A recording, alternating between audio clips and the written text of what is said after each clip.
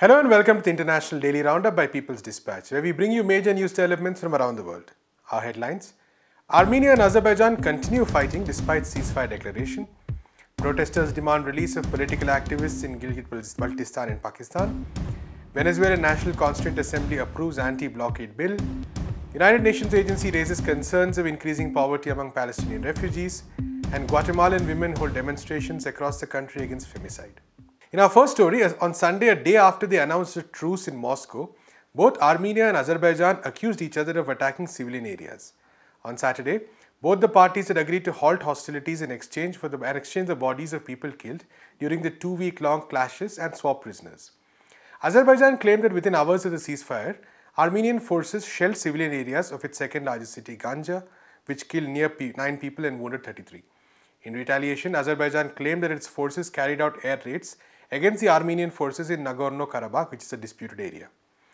Armenia denied allegations of its forces attacking civilian areas in Azerbaijan and instead accused Azerbaijan of attacking civilian areas in Karabakh, including its capital Stepanakert.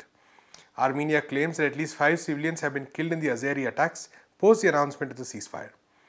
The ceasefire was achieved after a marathon meeting under Russian mediation in Moscow. The first direct contact between both the parties was a result of international pressure on both sides to end the fight and look for a political solution. The current round of clashes between Armenia and Azerbaijan erupted on September 27th after Azeri forces tried to recapture its territories from Armenian control. Both the countries have been clashing over the Nagorno-Karabakh region and its adjacent region for decades. In our next story, on Sunday, scores of activists of the Gilgit-Baltistan Youth Alliance gathered outside a Karachi press club in Pakistan they were demanding the release of 14 imprisoned activists from the northern Gilgit-Baltistan region. Protesters claimed that the demonstrations will continue until the authorities release all the political prisoners. The political prisoners have been charged for alleged anti-terrorism acts for causing riots in August 2011 in the Hunza Valley of Gilgit-Baltistan. Two civilians, Afzal Beg and his father Sherullah Beg, had died after the police opened fire at a demonstration. Those arrested for the riots include prominent activists Baba Babajar and Iftikhar, Iftikhar.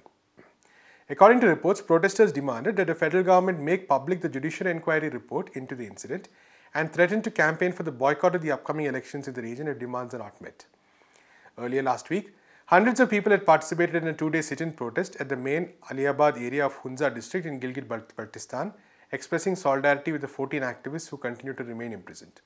In our next story, on October 8, the National Constituent Assembly of Venezuela, in an extraordinary plenary session, approved the anti-blockade bill presented by President Nicolas Maduro at the end of last month. The law will provide the Bolivarian government with mechanisms to face the impact of the commercial blockade, economic and financial persecution and other unilateral sanctions imposed by the United States on Venezuela.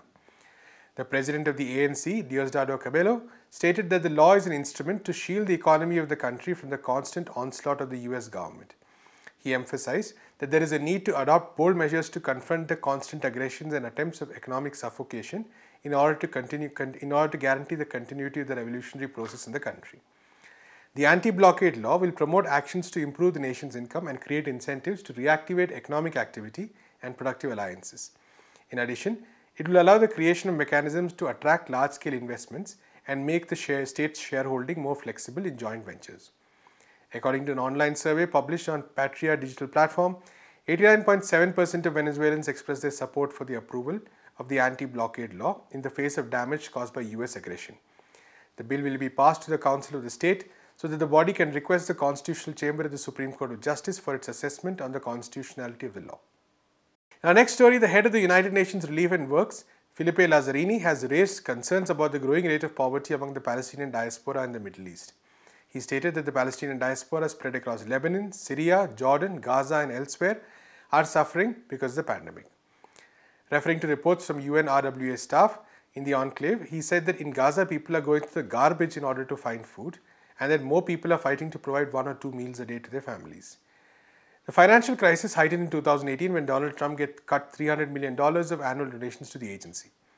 Trump's aid cut led to a wave of exceptional solidarity around UNRWA, he said, with other global donors filling the shortfall. In fact, 2018 was UNRWA's most successful money raising year for its core budget in the past five years. UN officials had earlier raised concerns that they not only fear the virus spreading unchecked in overcrowded camps where families cannot social distance, but also unemployment and poverty induced by the pandemic.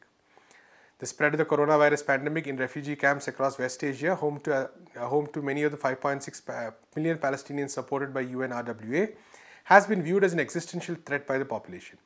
Adding to that, Israel's annex, possible annexation of the occupied West Bank threatens to stifle UNRWA's work there. On Saturday, Guatemala's feminist organizations held a protest in several cities of the country against the violence on women which has risen during the COVID 19 pandemic. Paying tribute and demanding justice for the women who have been raped, murdered, and disappeared in the last two decades, dozens of women gathered outside municipal buildings in various cities.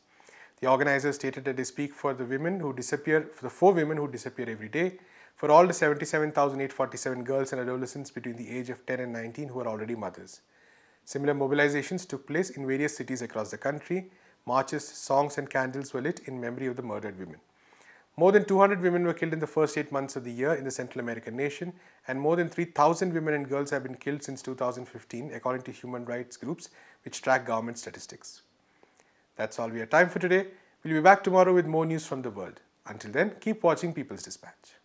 De pie cantar que vamos a triunfar, avanza ya.